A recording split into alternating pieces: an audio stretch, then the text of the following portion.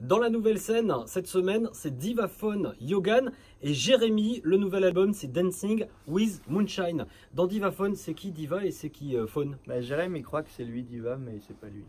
Mais c'est moi. Mais c'est pas vraiment lui. Enfin, c'est moi.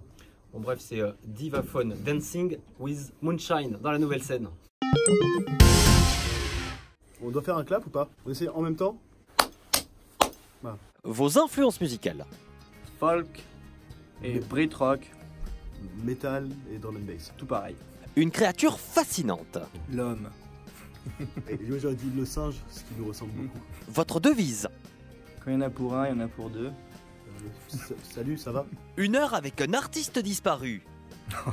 Vas-y, ouais, moi je, failli dire un, artiste vivant, tu vois. je me, je me pose une heure avec Prince et, euh, et on fait pas de musique et on tchatche un peu. Un John Lennon et George Harrison. Votre musique.